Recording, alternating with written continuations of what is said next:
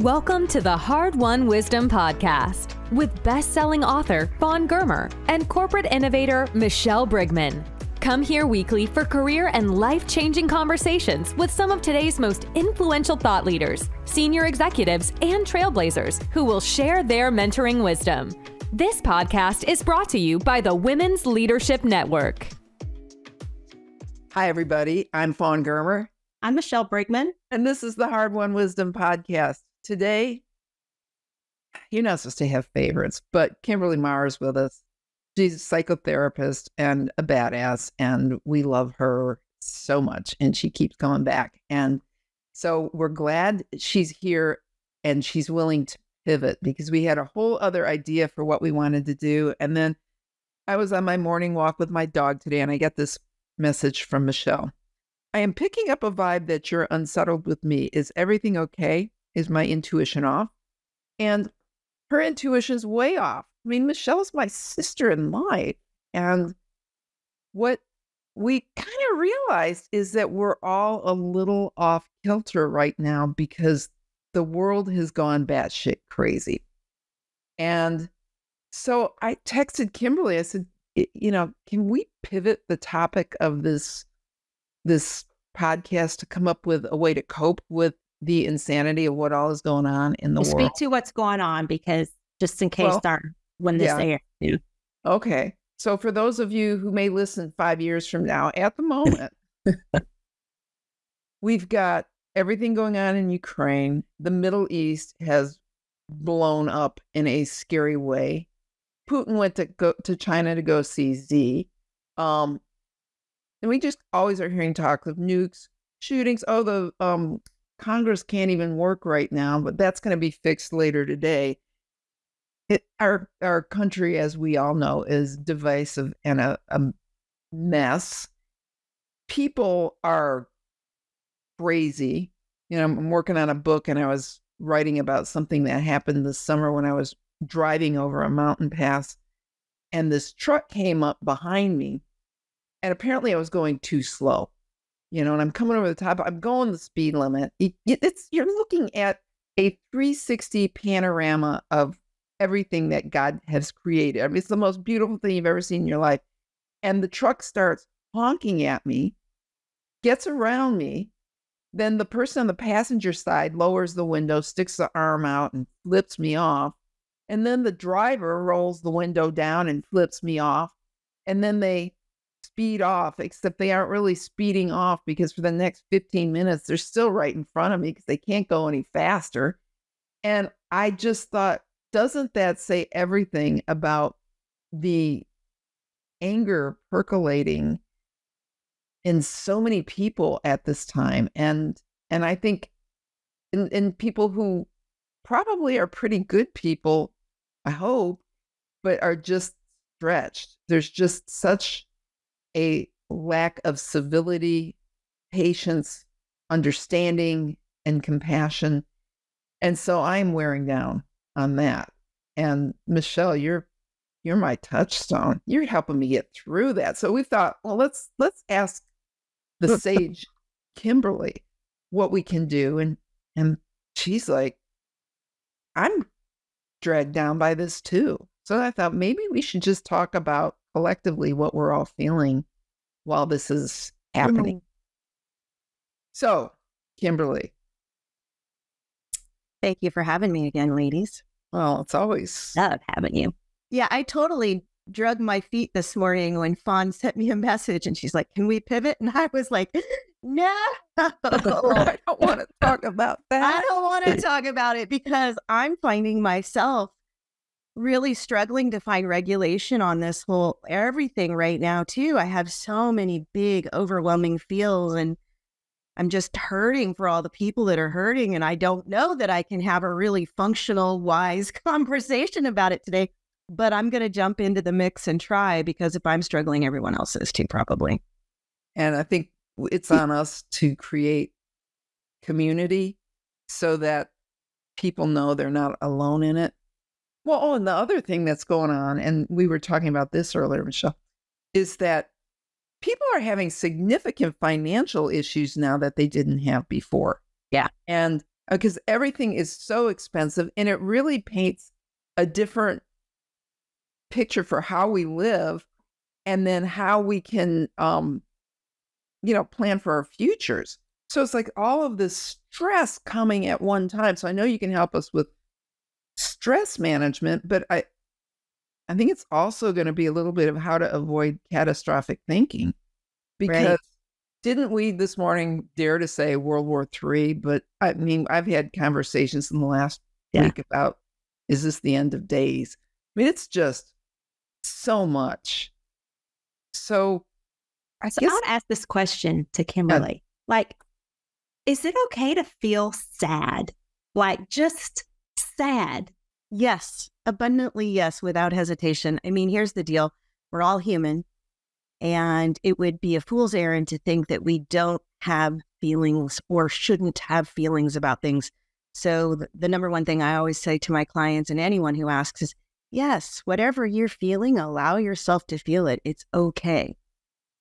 The challenge gets comes in when we get stuck in a feeling and then we start adding lighter fluid to it. We start adding fuel to it and we get stuck in perseverating on it and glomming on more and more. So, yes, to your question, it is sad. There's so many hard things happening out there. So many people are suffering right now. That's that feels like the overall theme to me is so many just normal people around the world, just good humans trying to eke out existence are suffering.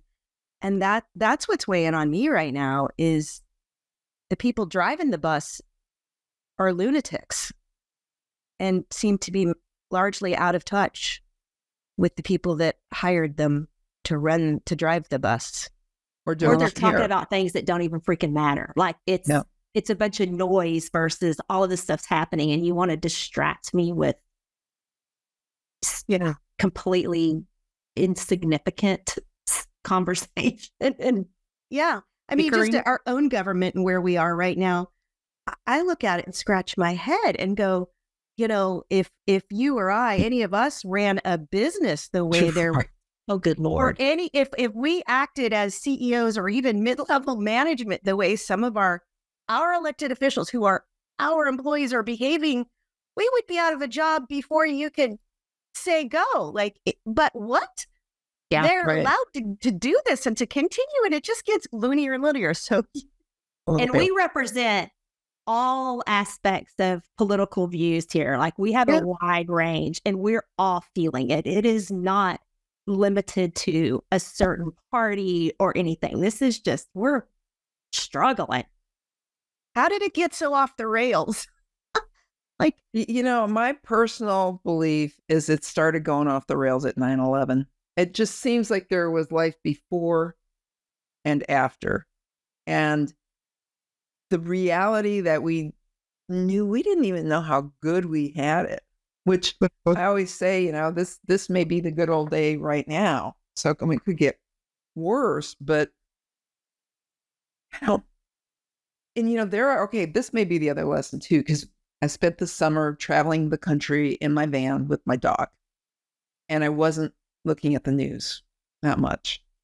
Yeah, I kind of knew what was going on, but I, it's certainly not like my habit here. I'm a, a former journalist, or I should say a lifelong journalist, and a news junkie. And so when I hit the wall when I'm writing or working, the first thing I do is switch screens and go see what's going on with the news. And I have long said you have to do news detoxes, but I think that's a survival method right now. Because when you, yeah, I mean, when you see people being blown up, human beings, right? And um, it, it's it's no secret I'm Jewish. I am devastated by what's going on in Israel, but I am also devastated by what's going on in Gaza and and these are human beings and i can't do anything about it that's that's the worst thing is can't do anything about it. The the only power we really have is you know every how many years we can vote for people who don't listen to us anyhow. So if we're powerless is it a crime to 100% stop watching it? Or is it our job as citizens to watch it so that we're not complicit? I feel like it's somewhere in the middle, right? It's not as black and white. It would be nice if we could just make that decision. But I think uh, being careful consumers of media, careful consumers of the news is really important. We have to choose the sources that we we watch or look at or read, listen to. And then we have to also really be responsible for checking in with ourselves and going, what do I have the bandwidth for right now personally? Like there are times, there are days, and then there are times within days where I have to recognize I do not have the bandwidth. I do not have the emotional capacity, the bandwidth to really consume the news right now because it'll tank me and then I won't be productive in doing the work I do to help people one on one, right? So I have to decide, I have to choose when I can watch it or look, consume it and how I do it. So, like for me, that looks like I don't watch a TV video much at all anymore. I choose to read. Uh, number one, because it insulates me a little bit from the really gross, horrific graphic things. I know it's going on. I'm not blind. It's horrific. But when I see those images of other human beings with such suffering, I know it's happening, but I, I don't need to see the gore because I don't have the bandwidth today. So I think being a careful consumer and knowing your limits and knowing where you are in your own self is really like that's the, that's what we need to focus on. I said I've been in uh, what I call it is I've been in I call it hibernation. I feel like I'm in a hibernation mode that I and I use that term because um, I'm not asleep, but I have to like insulate myself from all of it. And need, I kind of like I need extra padding, you know, like I need extra padding to, to, to distance myself from some of it because um, it is so overwhelming, and I feel um, I feel guilty. Yes, I feel guilty because I have the option of yeah. not leaning into it all. I feel so I have this whole guilt thing. And Ooh. then I have this gratitude of, you know, by the grace of God, I live where I live and it's right. not touching me right now. So I feel gratitude and I feel helpless and I feel afraid. It's like all of this stuff that's just coming up that has it you feel like you're oh, oh, you're all over the map in terms of I just feel like I'm all over the map. So what I then choose to do is I'm like, okay, so I'm going to go into hibernation and I'm going to protect myself as much as possible from it. And I haven't been spending much time with friends. I haven't been going out and exercising as much. Um, you know, I've got a trip planned to go see Fawn, and I have a lot of mixed feelings about it. We actually canceled it two weeks ago because I said, I don't, I, I feel really uneasy. I don't think I want to go. So it's affecting so many things in my yeah. life. And I know I'm not the only one because I'm getting the phone calls from my friends who are like, I feel like I needed to call you. I'm feeling sad. Fawn's story about our conversation this morning. And I think we just need to say, be honest about, I don't have all the answers, but I'm right there with you. It's, yeah, it's getting to us. Ah, yes. And, you know, and I was thinking last night about the, the things that I I want to make a note here. The things that I stress about are a joke when you think about what other people are going through, right? And, and in my mind, they're they're so big and they're they're not. Part of me thinks we should just be like saying gratitude prayers from morning to night because these stresses we have are so minuscule, right? Even in the best of times, we all live better than 99% of the rest of the world, right? But in the worst of times, look how much we have. And I, I don't know. I mean, I, I'm just so grateful that that, you know, that those are not my problems and that, right. um, I I what the hell is going on? Yeah. We do have privilege, you know, the three of us and and most Americans, right? We we're not we don't go to sleep at night for fear of a bomb dropping on our homes. We don't uh wake up and try to go find food, or eh, we have electricity, most of us, most of us have running water. Uh, you know, we are very blessed, and I'm not losing sight of that. So, yeah, first world problems, right? And I think that our privilege also comes with some responsibility. Um, I'm I'm just that's the part that's hardest for me right now is I'm really trying to hold energetic space for all the people who have so much less than me and are suffering so much suffering and it's senseless to me. I don't I don't understand why it why it needs to be happening. It, it makes yeah. absolutely no sense to me. So I'm confused. But there's people suffering, immense suffering. And, uh, and so many, uh, like, you know, you hear the anger people have about the problem at the border, which is a significant problem. I am not minimizing that. But can you imagine if you were that person so desperate, right, to get and and I understand this has to be dealt with. I understand what everybody's saying when they're screaming at me on the other end of this podcast. But we're so lucky that we don't have to be on that side. Right. I mean, and these people are fleeing for their lives with their families. Yeah. I mean, I can't say that I wouldn't do the same yeah. if my situation was like theirs, right?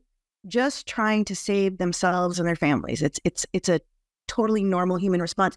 You know, I think the thing that's interesting is right now I'm noticing, and I think you said it too, there's so much anger right now. The world is just angry. Everybody's angry. There's that's what everybody's fighting over. We're fighting over everything because we're angry. And as a therapist, when I look at the emotion of anger, anger usually is a secondary emotion. Not always, but like most of the time, anger is a secondary emotion. And what I mean by that is anger is usually like the bodyguard or the bouncer at the door. It's the big, burly older brother that is protecting or guarding or fronting for some softer, more vulnerable, more uncomfortable emotions. So we look at all the madness in the world uh, the political clashing, uh, you know, wanting to keep people at the border away, whatever it is, the anger is really, I think, underneath both of it, it's just fear. 100%. People are afraid that somebody's going to take away their things. People are afraid that things are changing.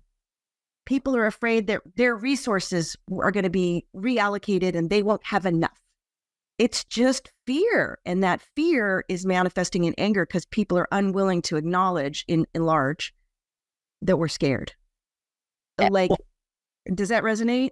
Yes. and I would say I go back to what Fawn said earlier about 9 11 kind of being a trigger or tipping point. And I think we've been living in this place of fear for so long. But for a while, it was, we felt like we had the upper hand because we were being the, we were retaliating. We were defending our position. So you kind of rallied around that and got a sense of strength and uh, stability and security. And now it's almost like, for I speak for myself, now it's like, it's like I'm just waiting. I'm about to be I'm about to be victimized and I'm waiting for it and I'm anticipating for to, anticipating it and I don't like it because I don't understand what we're doing or should do. And then I get pissed off because I do not want to feel afraid. I do not want to let the world around me start pushing the fear on me. And it makes me mad. And I want to find my grounding and say no. And I'm kind of like overwhelmed with it all.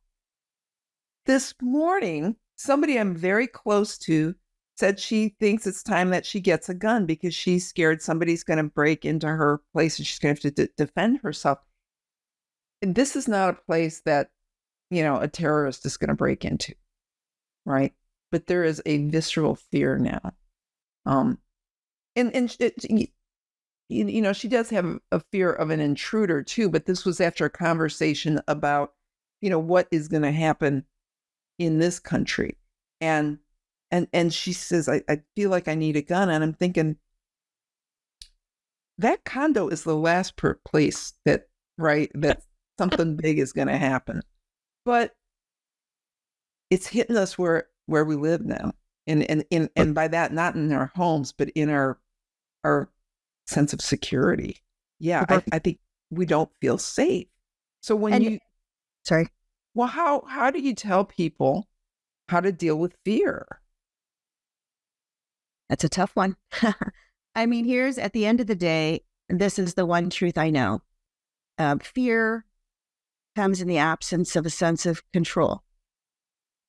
And control is what we try to have when we don't trust. And I think, in large, most of us, just normal people, we really don't feel, we don't trust in the people that are making decisions, huge decisions worldwide. We don't feel heard. Um, and that's a really disempowering feeling. So, you know, all I really have control of at the end of the day is this moment right here, right now, my decisions and my thoughts. Those are the only thing, two things I have control of in the entire universe my thoughts and my behavioral choices, decisions, right? And so when I start to feel all the dysregulated, the fear, that whatever the big, powerful, icky feels are, I bring it back and I bring it back to breath and I take a big deep breath and I say, okay, what what right now do I really have control of? I can I can regulate my breathing. Okay, I can do that. That's a behavioral thing. I can reel my mind back in from stressing out about something that maybe could happen in the future because that's all smoke and mirrors. Really, the future is mm-hmm. not something we know we can control. We can nothing. We can't do anything about it. And likewise, the past, we can't really affect any change over what's happened in the past.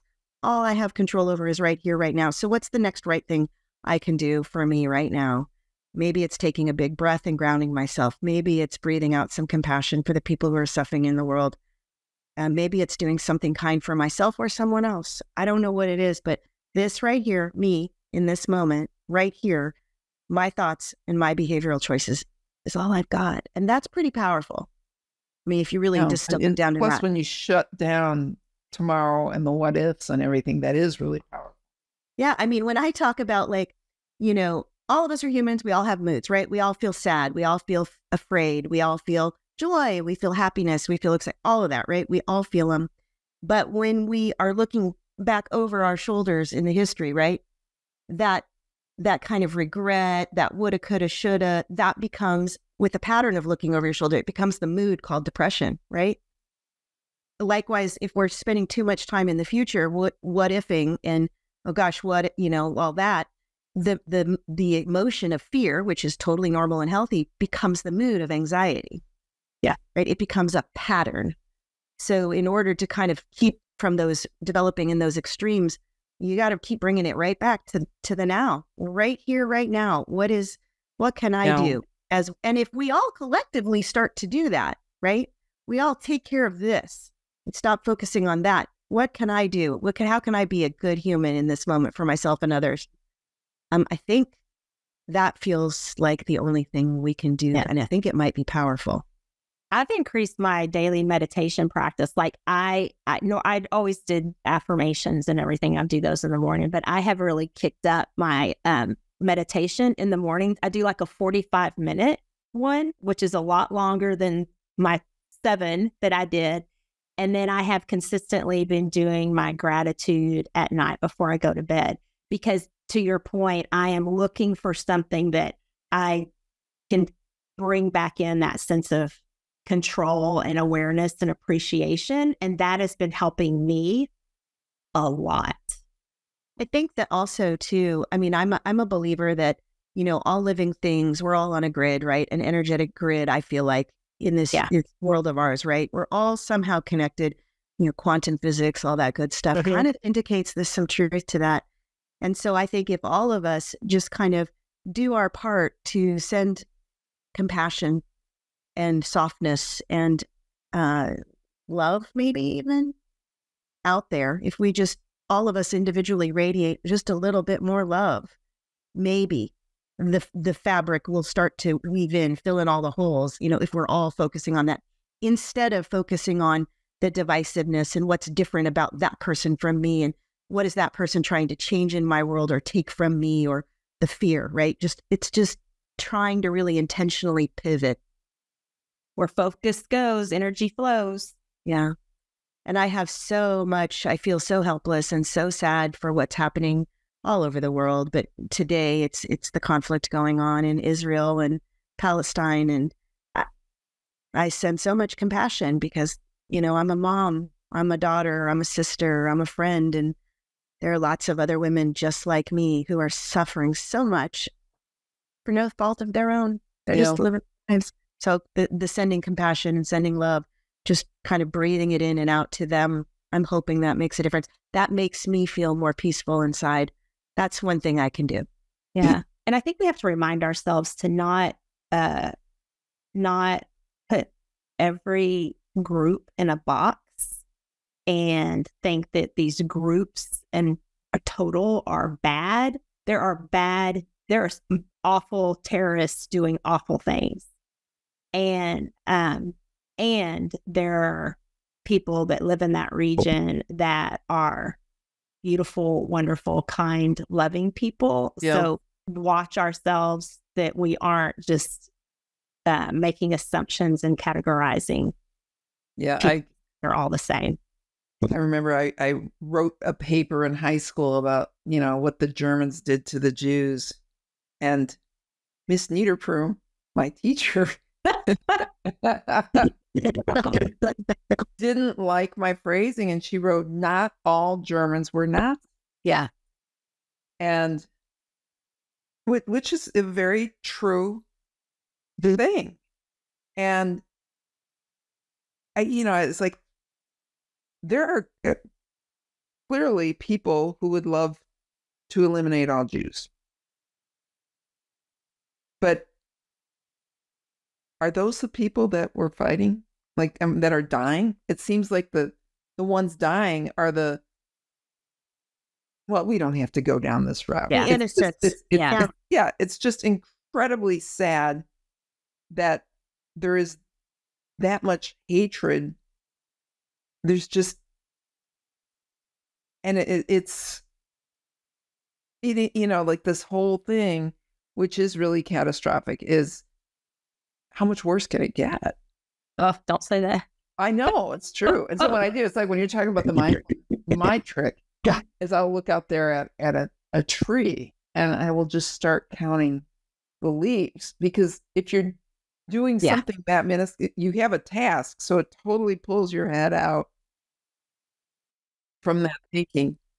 And, you know, tell me something about depression because, you know, I'm somebody who has had depression in the past when I was much young, younger. But then when situations would give me a heavy dose of the blues, I've always been able to manage it through exercise, prayer, outdoors. I have my go to. Is when something like this happens, is this out and out depression or is this situational? That's a hard one to answer, really cut and dry, but this is a situational stressor. The, just the heavy weight of the world these days is is is weighing us all down. It's like a big, heavy weighted blanket that we're not a cozy one, an icky one that many of us are feeling, even those of us who have not typically struggled with like clinical depression, so to speak. So, yes, to your question, yes, it's situational, and yes, it might also be more, you know, foundational for individuals, right? And so, for people who are compromised, right, or for people who are feeling behind the eight ball or are already in a place of struggle, you add these big, like global size pressures onto people, and it can be really hard. It can be like the final blow that really kicks it into something bigger. So, it's important to be checking on your people and how are you doing? And you know how can i be of service to you? And do you would it be helpful to do you need a vent? Do you need to talk? Do you need to process? I mean you know- it's time I have had two friends kill themselves because of Donald Trump, and a third one because of what happened in U- Ukraine. it's just nuts it's just nuts I, I, I just don't know even what to to do with that. Well, I mean, what can you do, right? Again, what do you have control of your thoughts and your behaviors? And and when I feel powerless like that, the only thing that I think, at least as a citizen in this country, what can I do? I don't know that they entirely listen to us, our elected officials, our employees. But what do I do? Your girl here is writing and calling uh, my employees, my elected officials, probably minimum six to 12 times a week because that, yes, ma'am. Do you is- really? Absolutely. They work, they work for me. They work for us. And I'm going to be the thorn in their sides that keeps reminding of that and going, hey, this isn't what we want. You you are not you're you're not acting on what we have asked you to do. And so I'm that's something that's how I feel like a modicum of control because here in the United States we do have a vote. We have a civic response. It's a responsibility. I think it's a right and a responsibility to kind of let these people know what do we want as a collective and I think overall the American people are not happy with what these power hungry lunatics ding dongs are doing. Good lord. But I don't, I don't, it's like for the people who are on the brink, like I described, writing isn't going to do anything. Oh, of course just, not. I, it's like, I, if anybody hears this and is ever on the brink, write me, you know, do, it's like, write somebody. Right. It, you uh, you're it, 100% it, right. Uh, it's like when you get that kind of thing after the fact and you realize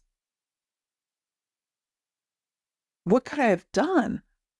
You know, I did, I, was was there more and and how how do we gauge this with our friends to say you know i'm here i sometimes when people are that depressed that's really even hard it doesn't get through right so one of the things that i say instead of i'm here let me know if i can be of support to you is i say you matter to me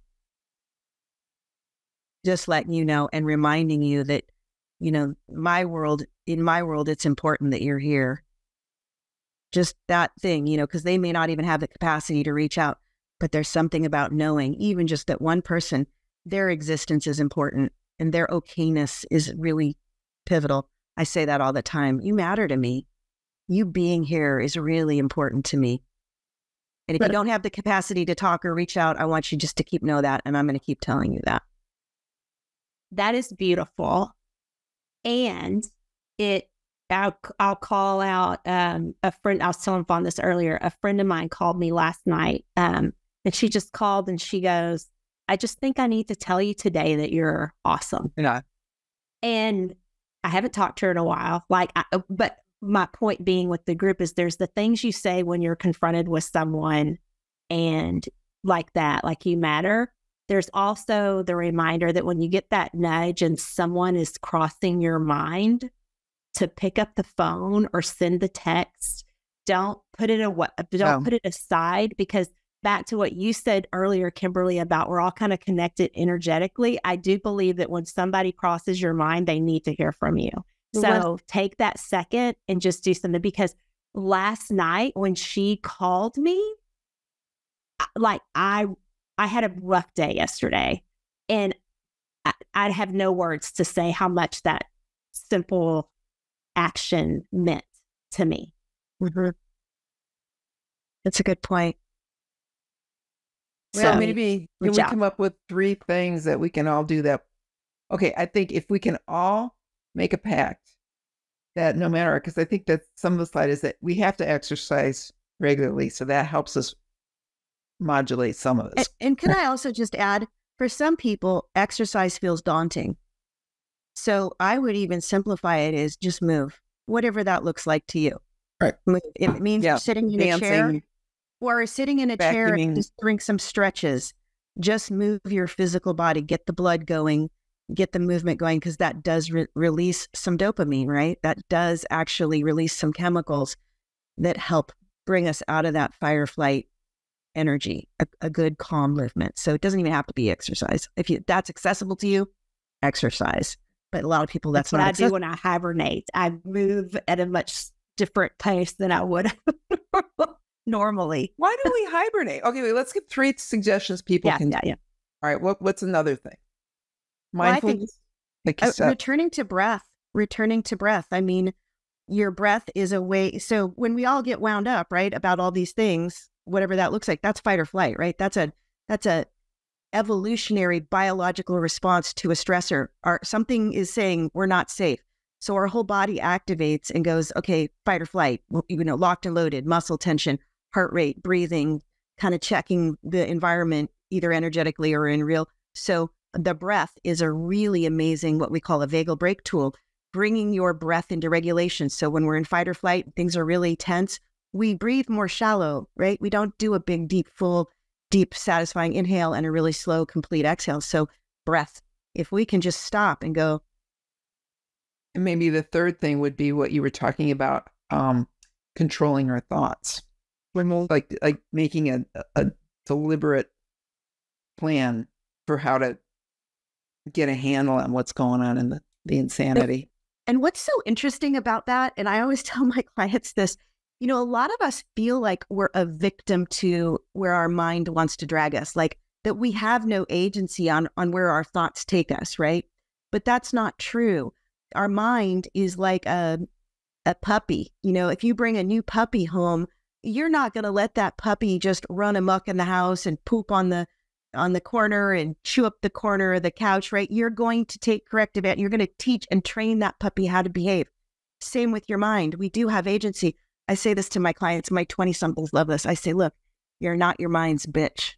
Mm-hmm. so we do have agency over our mind. So when we are aware that our mind is dragging us somewhere that's not really helpful to us or healthy for us, you can say, no, not today, Satan, or not today, mind. And you can rein it in. You can put the little leash on them and yank it back and go, okay, pivot. Let's focus on something that actually is useful, helpful, pleasant, good, present, you know, because that doesn't do anything for us.